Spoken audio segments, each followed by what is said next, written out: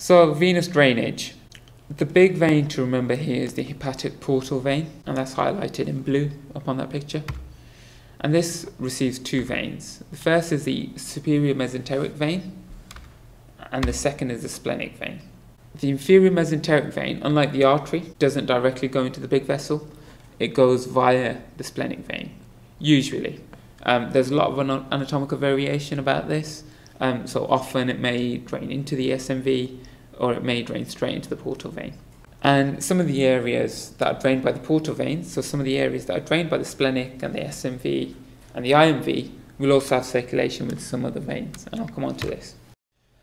So this diagram illustrates essentially the um, venous drainage of the abdomen, and it's it's not the most detailed, so it doesn't have everything on there, but it has some things that I'd like to illustrate.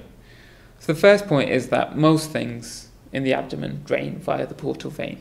So that's via the IMV, the splenic vein, and the SMV. Some areas drain straight into the IVC. For example, we can see here. So this is the inferior aspect of the rectum, and these veins are going straight into the iliac veins and then coming up into the IVC. So they're going straight into the systemic circulation.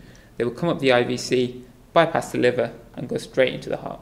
And there are a lot of collaterals that are also to be seen around the systemic and the portal circulation. So the systemic circulation being that which drains into the IVC, portal circulation being the anything that drains into the SMV, IMV, and splenic.